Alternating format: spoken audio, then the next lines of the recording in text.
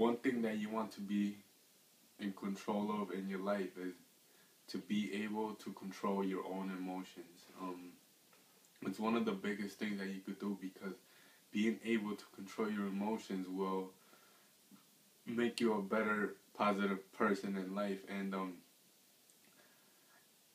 I don't know if you have really noticed this but I know that most of the people don't that nothing in life has a meaning only the meaning that you give to it that means that you are in control of your own life. You control everything around you, even without noticing, because the world revol- revolves all around human beings and it's all emotions, because everybody has emotions. But once you learn how to control your emotions and use all the positive emotions, and you can learn about the positive emotions by reading books such as Think and Grow Rich by Napoleon Hill, and um, will teach you about using the positive emotions once you learn how to use all the positive emotions, the negative emotions can't take a place in your mind, and um, you will only look at the positive things in life.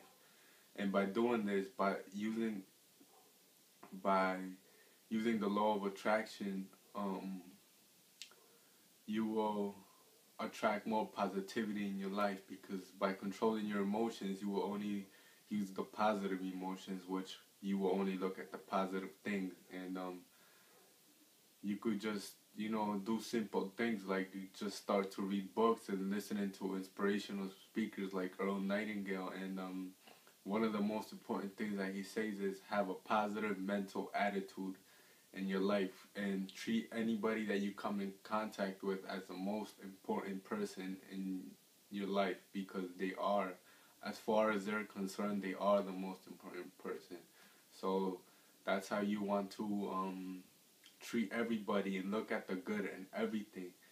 By looking at the good in everything, even when you're surrounded by negative things, just look at everything. Just be grateful that you woke up today, even, and um, just start to do this. And by the law of attraction, you will attract more positivity in your life. Focus on what you want, not what you don't want, and um, start to control your emotions. And soon, unconsciously, you will probably just have positive emotions all the time and um, attract more positivity in your life. And um, I hope you uh, you found this video and it changes your life.